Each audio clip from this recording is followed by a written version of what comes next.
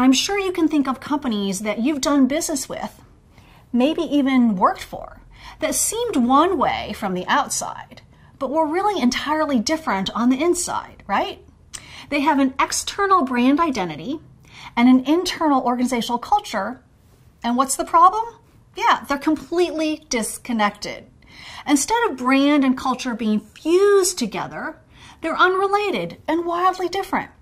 I think it's safe to say that we all want to make sure that such disconnects don't exist at our organizations. We want to ensure that our brand image is an authentic representation of who we are and the culture at our companies is healthy. In fact, I'm guessing that you see your culture as critical to improving your business results. However, you measure those results, whether it's increased profits or more sales, higher margins, but you're not quite sure how to achieve that kind of culture. Or perhaps your efforts to do so haven't quite been working.